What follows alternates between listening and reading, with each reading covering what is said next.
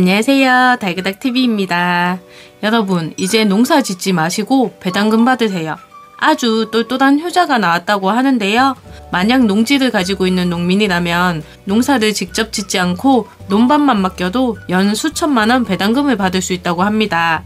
농사를 짓고 계시거나 농사를 지을 계획이 있으시거나 시골에 부모님이 농사를 짓고 계신데 연세가 있으셔서 걱정인 자녀분들은 오늘 영상 끝까지 봐주시고요. 보시기 전에 좋아요 먼저 꾹 눌러주세요.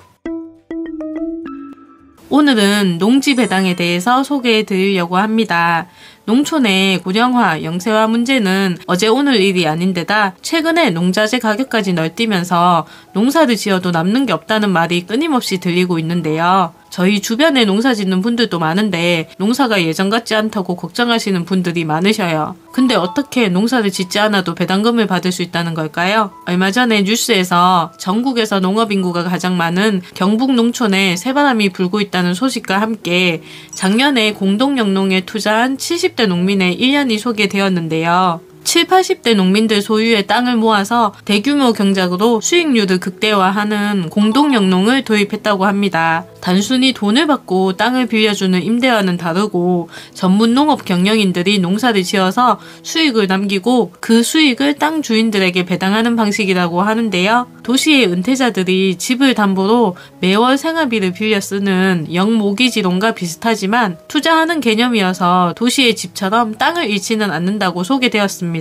70대 농민의 1년을 잠시 살펴보면 작년 6월 늘봄 영농조합 법인에 5,800평 투자를 시작했는데요. 벼농사를 했던 땅 5,800평에 콩을 심었고 콩을 수확한 뒤 기본 배당금 1,740만 원을 받았고 그 땅에 양파와 감자 농사를 지어서 올해 7월에는 이익 배당금을 받을 예정이라고 합니다. 1모작에서 2모작으로 농지 활용도를 높인 것인데 총 80농가가 참여했다고 하는데요. 농지 주인이 주주가 되는 것이고 실제 농사는 젊은 기농기촌인 외국인 근로자가 주로 하게 되고요. 땅을 투자한 주주라도 일을 하겠다고 하면 일당을 준다고 하는데요. 다만 다른 일군들이 받는 11만원보다 적은 9만원을 일당으로 주고 만약에 본인의 농기계를 가져와서 일을 하면 하루 30만원도 준다고 합니다. 그리고 직접 일은 안 해도 외 국인 근로자들에게 농사를 가르치거나 근로감독을 도와도 추가 수당을 지급한다고 합니다. 이렇게 시작된 경북의 공동영농은 경북도지사의 아이디어로 시작이 되었는데 갈수록 고령화돼서 농촌이 곧 사라지게 생겼는데 이걸 멍하니 두고 볼 수는 없지 않겠냐면서 평생 농사로 살아온 어르신들이 돈이 없어서 땅을 팔고 고향을 떠나게는 하지 말자는 각오로 이 사업을 추진했다고 합니다. 돈 버는 농촌이 되면 청년들도 농사 지으러 올 것으로 기대하고 있고 현재 20대 청년 2명이 참여 중인데 대학에서 원예학을 전공하고 2021년 문경으로 내려왔다는 청년농은 초기에는 농지은행에서 땅 3,000평을 빌려서 연 1천만 원 정도 벌었는데 작년에 문경 사업에 참여해서 배당금과 일당을 합쳐서 이미 2천만 원을 넘게 벌었다고 합니다. 도시와 비교하면 적은 연봉이지만 출퇴근이 자유롭고 농번기를 피해서 2, 3주씩 여유도 생겨서 충분히 매력적인 직업이라고 소감을 전했습니다. 지금까지 공동 영농을 통한 농지 배당금 받는 방법에 대해 알아봤는데요.